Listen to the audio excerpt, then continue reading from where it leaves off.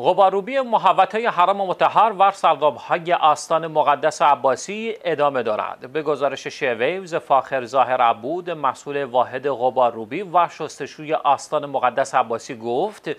این واحد مسئولیت های متعددی را به عهده دارد که از مهمترین آنها می‌توان به غباروبی و شستشوی محوطه حرم متحر غباروبی سردابها و امور دیگری چون تخلیه تانکرهای آب با استفاده از دستگاه های مخصوص اشاره کرد. وی در مورد اقدامات احتیاطی که در حین انجام غباروبی برای پیشگیری از شیوع کرونا رعایت آن لازم است گفت ما با پایبندی به دستورات بهداشتی در خصوص استفاده از دستکش و ماسک در حین کار و نیز استفاده از مواد ضد کننده برای جلوگیری از شیوع ویروس توجه بسیاری داریم. وی تاکید کرد پرسنل واحد ما روزانه سنگ فرش ها، سقف ها، پنکه دیواری، ساعت ها و اماکن نگهداری قرآن و مهر را غبارروبی نموده فرشها را شسته و سپس مجددا جهت مفروش کردن سرداب ها باز میگردانند.